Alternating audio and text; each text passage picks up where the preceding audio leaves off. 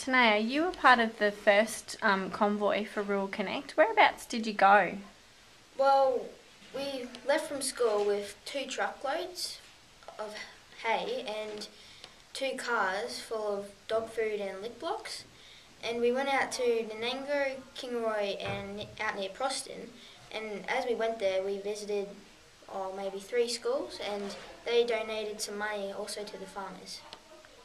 What was it like out there? Well, it was dry and dusty, and well, the stock out there was looked skinny, and we didn't see much wildlife out there at all, like we thought we would. What were some of the stories that you heard from the farmers and their families out there?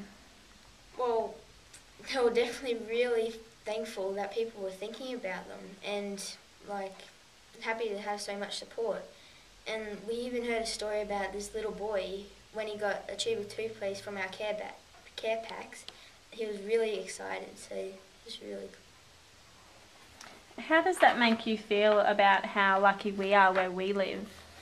Well, it makes you think because little things we take for granted, like a tube of toothpaste, to them is like really big. And like farmers are struggling to put food on their tables because they're helping us put food on our tables. So next time we have something to eat, we really need to think about that.